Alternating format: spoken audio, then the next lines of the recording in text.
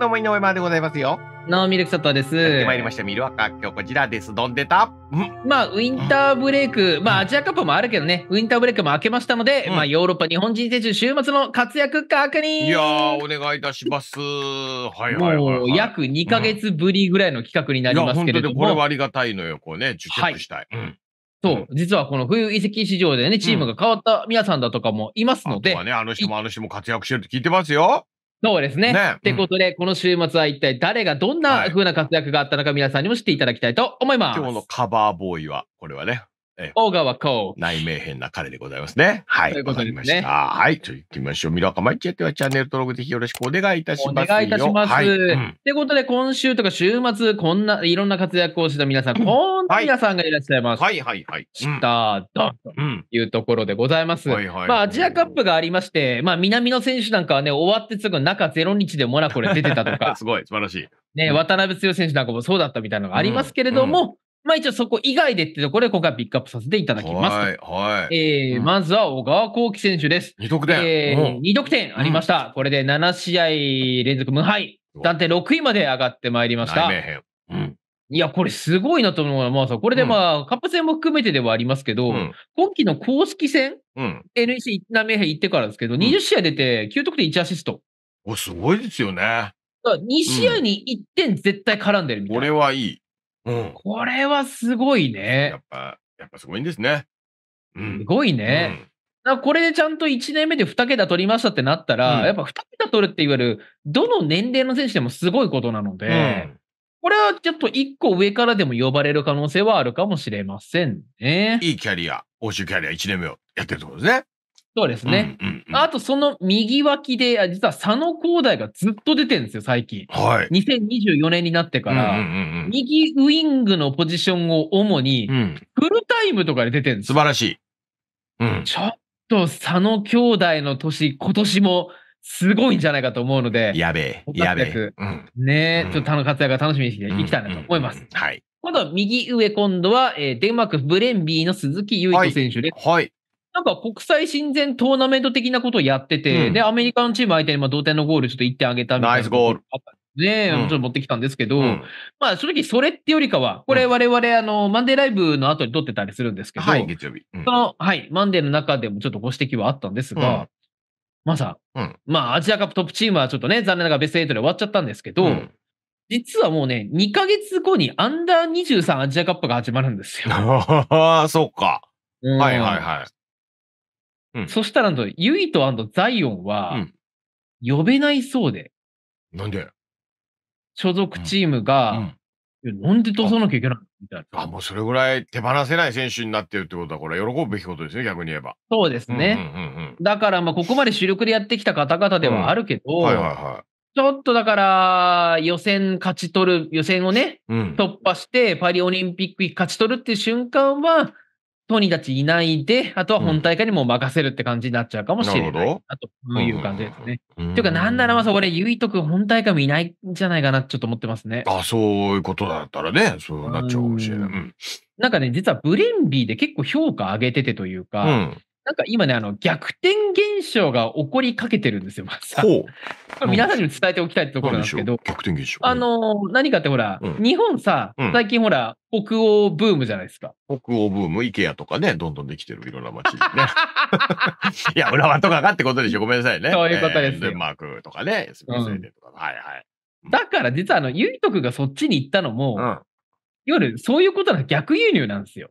うんうんうんうんうん。要は、なんか日本になんかいろいろこう選手を派遣してたら、うん、日本っていう場所がちょっと面白そうだぞって気づいた方々が、うん、あーあれ、よく見たらそう、あの、うん韓国も面白いぞってことで、今、うんに、今、全世界の中でも日本と韓国集中して見てんですって、北欧。あーマーケットとして上がってきたんだね。うんうんうん。なんか値段もそんな高くないぞと。そう。だからでゲームとかでね、スカウト派遣したら急になんか面白い選手いっぱい出てくる時あるもんね、あれね。そうそうおそうそうおお買い得だぞみたいなね。うんうんうんで、意外とスウェーデン、デンマーク、ノルウェーって5大リーグにいすぐ結構直結したりするんですよ。なるほど。だから日韓の選手的にも、そっちで活躍すれば、あれ意外とポーランドからもう一個ベルギー経てみたいな、そういうキャリアじゃなくて、ワンダイレクトでいけそうだぞっていうところで、うんこれから北欧ブーム始まるかもしれないなってのがあったりするから、ちょっと注目しておいていいかもしれないような市場ということで、ちょっと持ってきたよい、いいですね。いろんなチームが知れてってこともありますから。ですねはい。そして今度真ん中の段いきましょう。はい左の方です。えー角田良太郎藤井春也。まだ NSC の中でコンビ借りて組んだみたいな呼び方になっちゃってるじゃない、これ。角田藤井。このまんまでコンビ名になる場合ありますけどね、よくね。そうですねあのーそのコンビで今、ポルトレイクのセンターバックやってるわけですよ。ほうほうほだから渡辺あ素晴らしいあそういうことか感じよねう。うんうんううんんでそしたら、ん本当ここも監督さんの目利きいいんでしょううん。ね。あの、この二人がセンターバックに入り出したら、うん。大会だったチームがうん4戦無敗です。うん。で、しかもそのうち3試合無失点ですよ。おーれ、多分今最下位なんですけい。ど、うん。残留しそうです、このままいけば。素晴らしい。救世主。へえ。直近この4試合の無敗期間で言ったら、うんベルギー16チームの中で3位か4位の成績なんですよ。うんうんうん1ヶ月限定でえージャパニーズゲートがしっかりね塞いでるわけだ。ね素晴えらしいですねー。。狛犬になぞらえてね、なんか向こうで作ってほしいですね。二人が腕組みしてる。ね。ここは遠さし、みたいなね。えーやってほしいこね。う二人のコンビ名はね、あの、うんコルトレイクでいいんじゃないですか。ね。ね、いいと思いますけど。うん。どうしても年末 M1 に出てたら、うしても なはい。うん。はい。そして今度はですけども、ん。右側、今度は塩福田で塩福ございはい、ははい。い。うん。えー1月中旬にトップチーム昇格が発表されましたけれどうん。うん。まだ得点はありませんが、ついこの間はバイエルン戦がありまして、はい。途中から出場がありました。おーおー、リーグ戦。はそう。い。おー、これ、いや見たいですね。映像見たい。はい、すごい。やった、めでたい。うん。めでたいよね。うん。だから、多分もうすぐ板倉くんも帰って形になるので、ここもだから福田板倉っていうコンビになったりしますから、うん、うん、うん、で左上のとこはね、小川佐野っていうコンビもありますうん。し、うんなんか本当日本人複数一つのチームにいやーそうですねあいいですね。はい。いや、福田翔さんも初得点リーグ戦、待たれますね。早く見たいえねえ。これは本当楽しみ。楽しみでございますはい、はい。はい。うん今度は左下でございます。うんえ、これは斎藤水戸。あ、これ両翼ですもん ね。いいですね。そうか。今日コンビ特集なんですね。なんかなっちゃいましたね。ええええええあの、怪我からようやく復帰しました、斎藤幸輝くんいやいいが。じゃないうん、前節かな、復帰したんですけど、スタメンにも返り咲きまして、うん。えー左ウイング斎藤幸輝、右ウイング水戸俊介ということになりましたと。うん。いいよ。で、斎藤君はまあ途中で、えーうん。途中交代になりましたけれども、うん。水戸俊介選手はなんとフルタイム出場ということで、なるほど。素晴らしい。続けているなというところで守ってきましたよという形ですと。これでも一応ね、そんなこと絶対ないっていうかね、まあ、そんな失敗するまでもないんですけど、このお二人のお母さんね、うん。に僕おはい。伝えしたいことがあるんですけど、あええの、スパルタってそういう意味じゃないんでね。ええ大丈夫ですよ。そんなき、ね、心配しなくても、ちゃんと休みたい時休めてますから、二人はね。そういうことじゃないんですね。先生ね。じゃないですからねうん、大丈夫ご心配なくお母様。ね。大丈夫でございます。はい。うんそして右下でございます。え今度ははい荻原金子。なんかいいですね。響きがいいですね。はい。あのーまあね、えーこれで荻原選手も、えーうんリーグでデビューすることとなりましたうが、ん。いきなり出て、うん。スタメンフル出場という形になりまして、まあ、左サイイドバックとひ右ウイングって感じでしたけどね、うんここ二人はね。金子拓郎選手なんか9試合連続スタメン中みたいな感じですから。しいね。うん、ディナモ・ザグレブでも、まあ、この二人の活躍がこれから見て、見れていけるよって感じになりますね、うんということでございますと。あとね、まずさっきちょっと塩君のところで言い忘れたなはいはいはい。うん。あのーうんついに、うん。ついに。テイス・アンディ、もう、はい。あの、トップチームのベンチにいや入りましー、やったぜ。やったぜ。ちょっと出場まではいけなかったんですけど、うんうんうん。まあでも、ついにそういうところまで来た。ええだ下部組織みたいなところを突破して、ついに素晴らしいね、やってきたっていうのがチェイス・ザ・チャンス。素晴らしい。いやー、掴んでほしいですね、うんここでね素。晴らしい。素はい。うんというところで、活躍組でございました。うんはいあの、いつもだったら、あの、誰がスタメンで出たとかっていう表を持ってくるつもりでああ、国旗と一緒のやつですね、あれね。そうですねんんうんただ、ちょっとまだアジアカップ組がほとんど出れてるわけではないっていうところもあるので、はい。こんなものを用意してみました。ほう。え改めて、どこにいるの表。ああ、どこにいるの表。ああ、今ね、はいこういう選手が所属してますよっていうことですね。はい。ええまあちょっと黄色うんい、チーム名が黄色くなってる方が、まあ移動のあった方ってことになるんですけどう、んまあ橋岡選手がうん、うんルートンタウンそうイングランドプレミア上上陸陸でございますね。なんかマフラーをね、首に巻いて、あの、登場してましたね、ハーフタイムかなんかに。あ歓迎されてましたよ。ねよ。かったですね。あとなんかね、おも調子者とはう、思えないような顔で入ってきますよ。あどうもどうも、橋岡でございます。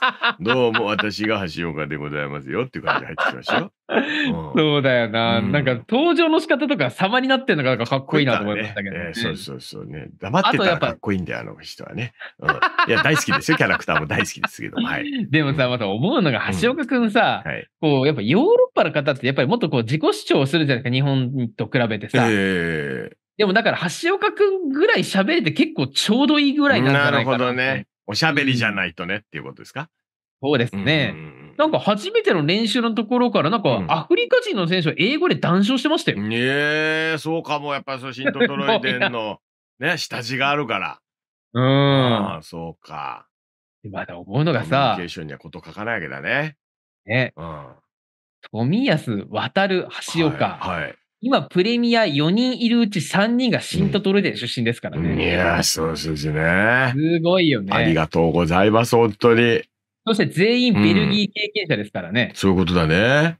チャンピオンシップ含めても7人中6人がベルギー経験者うですから。ーん、そうかち。ょっとやっぱ、ベルギーあるあるベルギーある。るあるとか喋ってほしいよね。聞きたいね。うん。はい、ということになってます。えー。他にこれあの心配しないでいただきいたいのは、あれ、スコットランド国旗ですからね、あれは。怪我してるとかじゃないですからね、あれ。